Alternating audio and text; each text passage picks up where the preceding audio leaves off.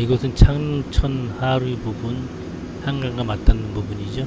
비가 많이 와갖고 지금 온통 물바다입니다. 오늘은 컨테이너 하우스 안에 있는 컨테이너를 두 대가 꺼내 갖고선 화물차에 상차를 해줄 겁니다. 요즘은 컨테이너 집어넣고 뺄 때는 무조건 지게차 두 대로 하는 게 좋아요. 조금 안전하죠? 지금 이제 거의 다 와가고 있죠. 이곳은 이제 강매동이라는 곳인데 행정구역상 행신동에 들어간다고 하더군요. 그게 강매동 주민센터가 따로 없고 행신 주민센터 같이 사용하는 것 같아요. 주로 이제 논밭으로 이루어진 곳이죠. 이런 곳에 비닐하우스 창고가 꽤 많이 있어요. 그, 그러다 보니까 이제 비닐하우스 창고다 보니까 지게차가 작업하기가 좋은 곳이 아니죠. 비포장이 많기 때문에 하우스 안이 포장이 안 돼 있기 때문에 비만 오면은 잘 빠져요. 그래도 조립식 건물이나 이런 걸로 이제 지어놓은 창고는 밑에 바닥이 다 단단하게 콘크리트로 다 포장이 돼 있지 않습니까? 그런 곳에 이제 지게차가 안 빠지는데 여기는 이제 하우스다 보니까 지게차가 잘 빠질 수밖에 없어요. 여기는 지금 비, 비가 많이 와갖고 곳곳에 물이 많이 있죠. 그 하우스 안도 별로 좋지 않을 것 같아요. 그러나 어쨌든 이제 지게차가 두 대가 움직이게 되면은 지게차 빠질 것 크게 걱정 안 하죠. 이제 도착은 했습니다. 저 앞에 보이는 곳에 화물차가 하나 있긴 있는데 지게차가 안 보이네요. 그래서 이제 전화를 하려고 하다 보니까 오른쪽에 하우스 안에 지게차가 하나 들어있네요. 그 안에 들어있는 컨테이너를 꺼내서 이 화물차에 실어줄 거죠. 네, 저 안에 들어있습니다.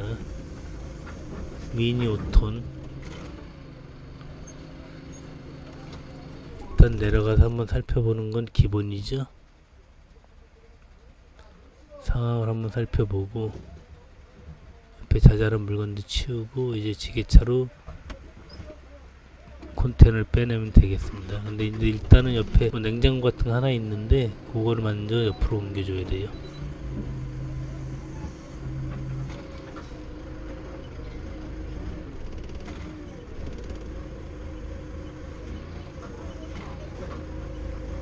저 큰 콘테이너를 저 하우스 안에 넣는다는 거 자체도 기술 좋은 거죠 그 정도면요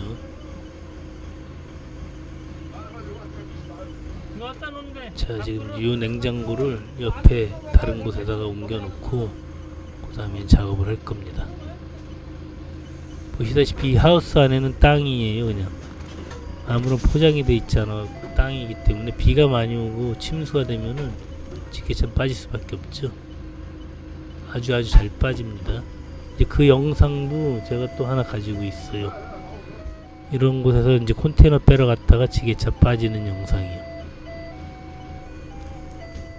자 이제 이거 냉장고 옮겨주고 또 이제 작업을 하도록 하겠습니다.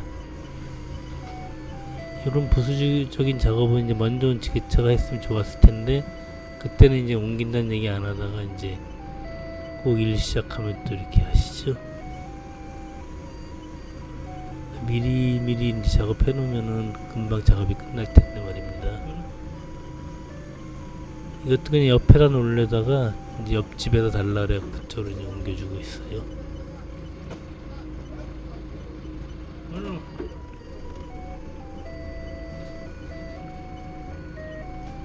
이렇게 땅이 좋지가 않습니다. 이 하우스 쪽에는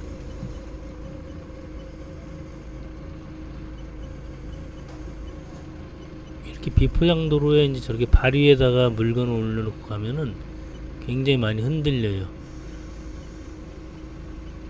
까딱해서 덜컹하고 그러면은 저런 이제 냉장고 같은 거는 넘어가 버리죠. 그래서 이렇게 잡아주는 게 중요합니다. 이런 데는. 이렇게 살짝만 잡고만 있어도 안 넘어가죠. 근데 지금 현재는 콘크리트 포장으로 올라왔기 때문에 조금 남긴 난데 이렇게 운반할 때는 저게 굉장히 불안한 상태예요 사실은요 이 콘크리트 바닥 단단한 바닥이라도 이런 곳에 뭐 돌도 있을 수 있고 이런 곳돌 밟아서 돌을 갑자기 다 안 보이잖아요 지게차에서는. 밟다가 세게 넘어가 버리면 저런 건 그냥 넘어가 버리죠. 이렇게 헌 물건이고 이분들한테 공짜로 주는 거니까 뭐 넘어갔을 때 크게 부담은 없는 거긴 하지만 그래도 말입니다. 이제 넘어지게 되면은 좀 그렇죠 만약 못 쓰게 되거나 기스가 나가면 이제 저한테 책임이 돌아오겠죠. 그래서 저렇게 우- 짧은 거리라도 운반할 때그 긴장을 늦춰서는 안 돼요. 충분히 넘어갈 수 있는 거죠 이 정도 거리라면요. 더 짧은 거리에서도 조금만 잘못 밟으면 저는 넘어가는 거예요. 잡아줬어야 됩니다 끝까지요. 자 이제 본격적인 작업을 하도록 하겠습니다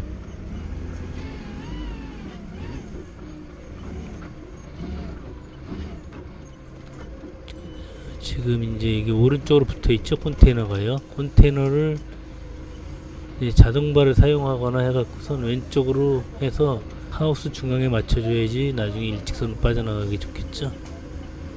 일단은 뭐 앞뒤에 있는 저쪽 뒤쪽에 지게차가 하나 있잖아요. 서로 얘기를 안 해도 벌써 이런 건 다 알고 있습니다. 마음이 이제 호흡이 맞는다 그러죠? 가운데로 옮겨주는 작업을 할 거예요 가운데다가 맞춰 끝으로 네, 놔둬보세요 잠깐만요 물건들이 많아갖고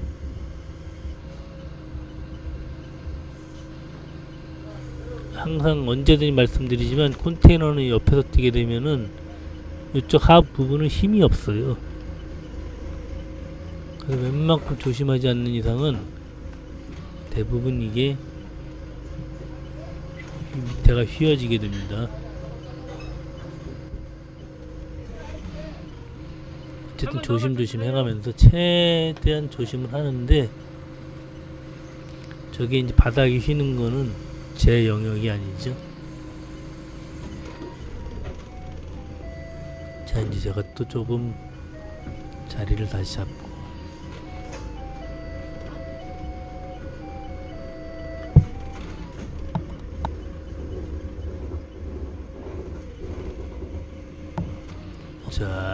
다시 중앙으로 옮기기 위해서 지게발을 집어 넣었습니다. 아니 한 번 더 맞춰줘야 몇번 해야 돼 그런 건 그냥 자동발로 한 두세 번만 해주면은 가운데로 가죠. 저쪽도 저쪽도 요거는 이제 컨테이너 요거 서로 맞들고 이동할 때 뭐 주의할 점은 저 뒤에 있는 지게차와 제가 소통이 안 된다는 얘기죠. 물론 무전기가 하나 정도 있으면 좋을 것 같은데 무전기도 또 이제 이런 일이 많지가 않으니까 무전기까지 갖추진 않고 있는데 무전기 갖추고 있으면 좋죠. 서로 이제 무전으로 소통해 가면서 작업을 해도 되는데 이제 오래 하다 보니까 그런 거 이제 없이 하고 있거든요. 가끔 가다 보면은 이제 호흡을 맞추고 나가지만 그 속도가 안 맞을 때가 있어요. 좀 더 천천히 왔으면 좋겠다 생각했을 때도 컨테이너가 빨리 밀려 들어올 때도 있고 그런 경우 가끔 있거든요. 그래서 무전기를 하나씩 갖고 가면 좋을 것 같다는 생각을 예전부터 하고 있습니다. 나중에 이제 중고로다 무전기 하나 구입해야 될 것 같아요.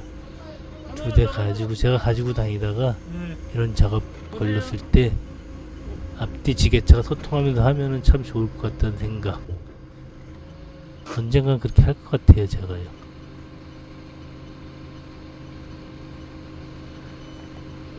자, 이제 내려가서 한번 보고 좌우 뒤 앞뒤를 다시 한번 상황을 살피는 중이에요, 제가요.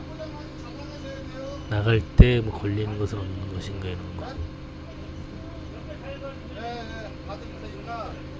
이거 나갈 때 저 지게차 소통이 안 되기 때문에 옆에 이제 보조하시는 분들이 계시잖아요. 밑에 이제 신호해주고 그러시는 분들이 있는데 그분들 역할도 조- 중요하거든요. 근데 이제 하우스 들어가는 그 폭이 좁기 때문에 까딱하면은 이제 거기에 닿을 수가 있어요. 이 컨테이너 보면은 창문이나 문 위에 보면은 이쪽에 조금 캐너피가 한 10cm, 15cm 정도 튀어나와 있어요. 10cm 정도 될 거예요. 그거를 그거를 지금 안 보이잖아요 현재 상태에서는 그 부분이 나가면서 하우스를 찢어 먹을 수 있거든요 그런 치워버려. 것도 잘 봐야 됩니다. 저분이 이제 외국인이신데 거의 한국 사람 다 됐어요 한국말 참 잘합니다.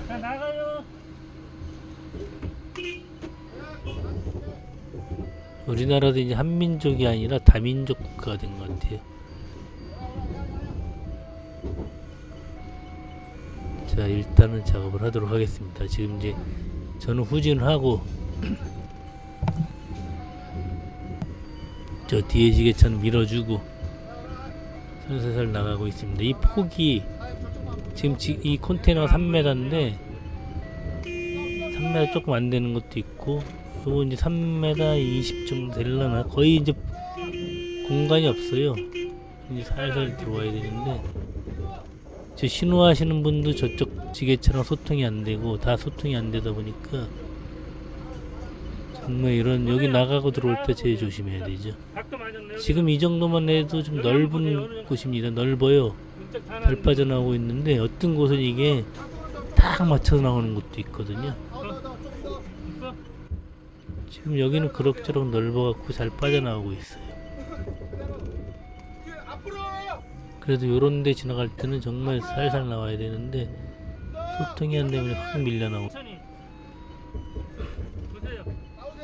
어쨌거나 여기는 공간이 그래도 많이 널널합니다. 잘 나오고 있죠.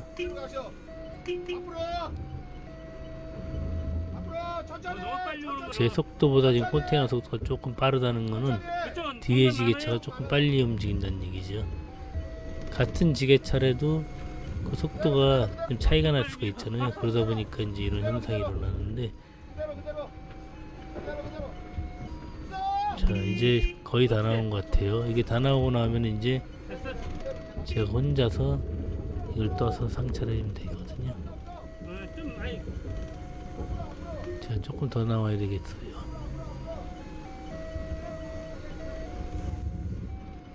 지금 밑에서 신호해 주신 분이 굉장히 중요해요. 저희는 이제 저 끝에가 나왔는지 안 나왔는지 지금 안 보이고 있잖아요. 물론 이제 뒤에.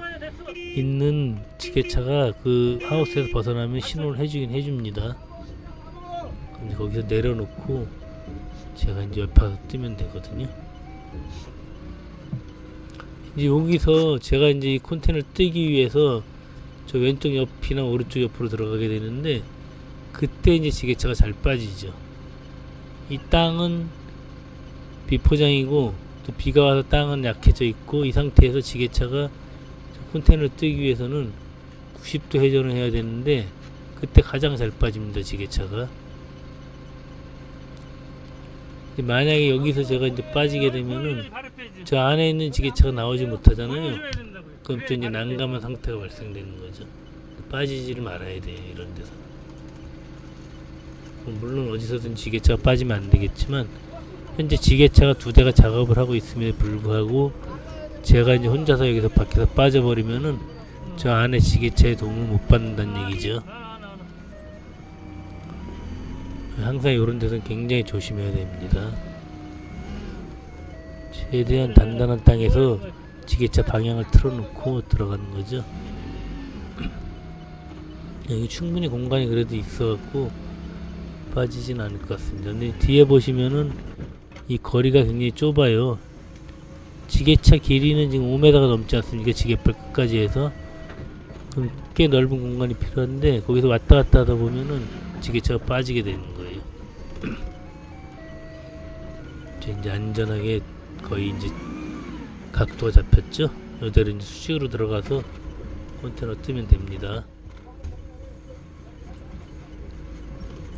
이제 여기까지 들어오면 거의 안심해도 되죠.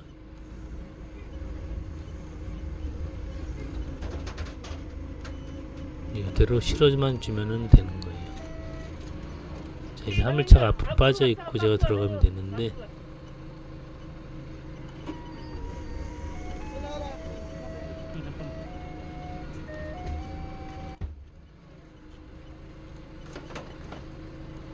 뭐 안에 뭐 들어갈 게 많이 있네요.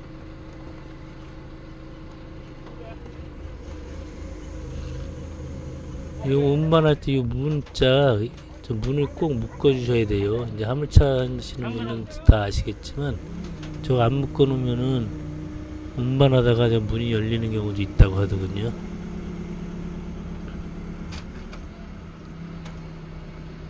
자 이제 제가 방향을 틀었고 화물차가 이제 앞으로 오겠죠.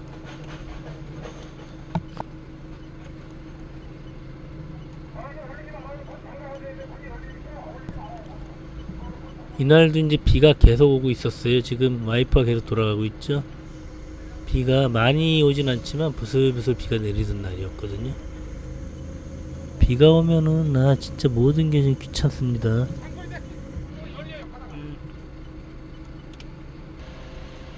이제 싣기 전에 이 문짝을 묶을 거예요. 문짝을 묶기 위해서 지금 이제 열심히 우리 화물차 사장님이.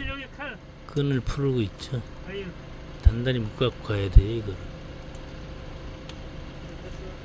그 열쇠를 잠궈 놓고 가도 되는데 그 열쇠가 풀릴 경우가 있거든요. 열쇠만 갖고 있을 때는 풀릴 수가 있어요. 이렇게 묶어서 단도리를 단단히 해주는 게 좋습니다. 요거 요거 해봤자 몇 분 안 되거든요. 음, 5분 안에 이게 끝나는 작업이잖아요 요거 묶는 거뭐 1분 안에 끝날 수도 있고 짧은 시간이지만 요거 하면 하고 가면 훨씬 안전한 거죠. 저 문이 달리다가 만약 열리거나 그래서 옆에 차를 충격을 줄 수도 있을 거 아니에요. 문이 만약 열리게 되면은. 네, 이렇게 단단하게 작업을 해주셔야죠. 이거 불과 몇 분만 투자하면 되는 일인데 요거 이제 그냥 가는 경우도 있죠. 확실하게 해갖고 가야 됩니다. 이렇게 안전하게 하는 거는 의무예요, 의무. 안전은 의무입니다. 이렇게 화물차나 지게차나 안전하게 해야 되는 거는 저희의 의무라고 생각하시면 되죠. 자, 이제 그대로 실어주면 될 것 같아요.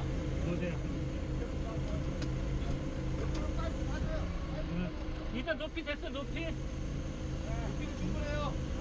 위에 이런 곳을 싫다면 위에 전기줄도 있어 갖고선 전제. 전기줄이 많이 지나갑니다. 이런 데는 너무 높이 들 수 없어요. 아니면 제가 높이 들어갔고 제가 보면서 들어가면 되는데 이건 보이지가 않거든요. 앞에가 옆에 쪽은 이제 그 옆에 화물차나 또는 이 컨테이너 화주한테 도움을 받아가면서 이 물건을 실으면 좋죠. 높이 들어서 볼 수 있다면은 뭐 혼자 실을 수도 있습니다. 그러나 이제 안전하게 하기 위해서 항상 이런 거 실을 때는 보조자가 도와주면 참 좋습니다. 제가 뭐 컨테이너 옆에 눈이 있는 게 아니기 때문이죠. 자 이제 무사히 실렸습니다. 이제 작업 끝이냐? 이제 저는 작업이 끝났고 아까 이제 옆에서 작업하던 그 미니 5톤 지게차가 저 컨테이너에다가 실외기를 실어줄 거예요. 그럼 제가 이제 옆에 빠져서 구경만 하고 있으면 됩니다. 자, 이제 왜 또 움직이냐? 아까 열심히 묶어놨는데 실외기를 이제 그 안에 넣는다네요. 자, 이렇게 미리미리 안 해놓으면 이제 두 번 일이 되는 거죠. 따로따로. 6만 원, 6만 원, 12만 지금 원. 다시 열심히 묶어놨던 문을 다시 또 풀어주고 있어요.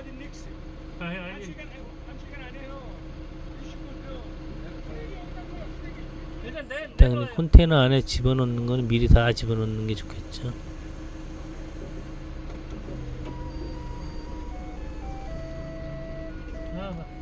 이제 요거 작업 다 끝냈는데 요거 때문에 또 지체되고 있는 거죠. 만약에 이제 요 다음 타임에 일이 잡혀 있다거나 그러면은 요때가 굉장히 이제 마음이 급해지는 거죠.